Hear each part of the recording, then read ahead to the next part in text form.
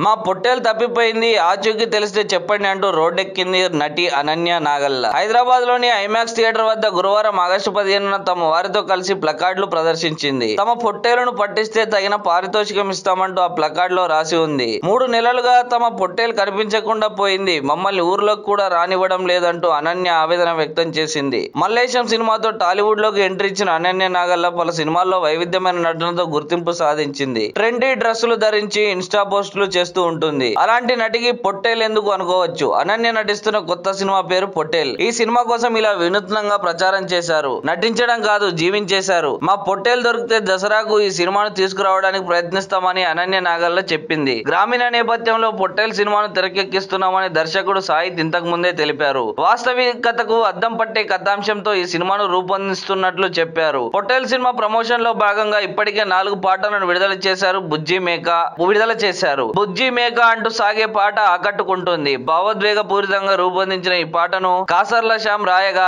శేఖర్ చంద్ర స్వరపరిచారు. కాలభైరవ ఆలపించారు. పొట్టేల్ సినిమాకు నిశాంత్ రెడ్డి కుడితి సురేష్ కుమార్ సడిగే నిర్మాతలుగా వ్యవహరిస్తున్నారు. అజయ్ ప్రియాంక శర్మ తనస్వి చౌదరి శ్రీకాంత్ అయ్యంగార్ రియాజ్ నోయల్ సీన్ తదితరులు కీలక పాత్రలు పోషిస్తున్నారు. ఈ చిత్రానికి సినిమాటోగ్రాఫర్ మోనేష్ భూపతి రాజు.